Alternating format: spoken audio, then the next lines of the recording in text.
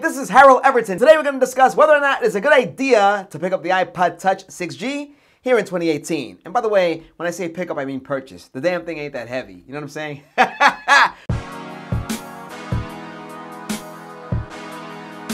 iPod Touch 6G came out in 2015 alongside the iPhone 6 and 6 Plus.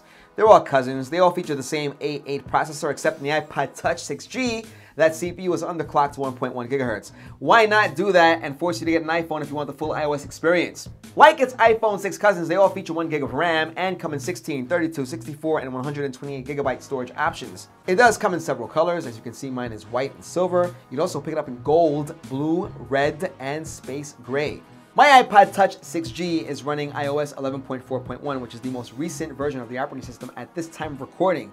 However, it did originally ship with iOS 8.4, making it one of the few Apple devices that will make it through four different upgrade cycles. That's iOS 9, 10, 11, and in a couple of weeks, 12. The cameras on the iPod Touch 6G, nothing to go crazy about in 2018. The rear-facing camera clocks in at 8 megapixels. You get a 2.4 aperture. You also get 720p video recording for smooth, crystal clear quality videos. The front-facing camera clocks in at 1.2 megapixels, also does 720p for nice crystal clear FaceTime chats. The cameras are capable of doing panorama, time-lapse video, and slow motion. You also get some nice autofocus, image stabilization, and face detection technology. Take a look at some of these beautiful photos and video footage that I took using the front and rear facing cameras on my iPod Touch 6G in downtown Manhattan around Canal Street on a beautiful summer, sunny August day.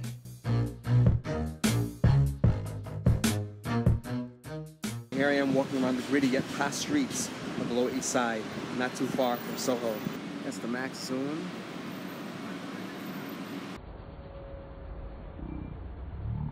Now while on paper this device may seem underpowered for 2018 spec-wise, in normal usage, everything ran quite snappy. I have to say this, as long as your apps and games do not require an insane amount of resources, you should be just fine. As a joke, I tried to install Fortnite knowing very well that this device couldn't handle it, and I did get the error message stating that I needed at least 2 gigs of RAM for the game to run.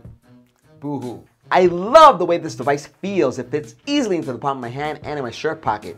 If you're looking for the full iOS gaming experience, this might not be the ideal device. The screen clocks in at 4 inches. That's a resolution of 1136 by 640. That's 326 ppi. If you need a lot of space, you might want to look into the iPhone or iPad. And these days, an iPad will set you back 299 bucks. So $125 for this baby might not be ideal. However, because it is very convenient and it's a unique device, I still think this should be on your radar. I do hope that Apple does release an iPod Touch 7G with updated specs because this is a truly unique and very convenient device. So the question remains, should you pick up an iPod Touch 6G? Well, if you're someone who owns an Android device, or a Windows Phone device for that matter, and you're trying to get a taste of the iOS experience but do not want to drop a thousand bucks on an iPhone, well, if you have $125 to burn and you don't mind getting one refurbished, then this should be on your radar.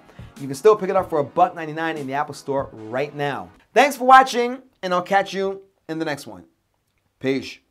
It's actually peace. I don't know why people say peace. Hey, this is Harold Everton for Everton Media. Thanks for checking out this video. By the way, please do be kind and click that subscribe button for access to news, music, new content, commentary, tech, and if you're lucky, you might even get a video or two in color.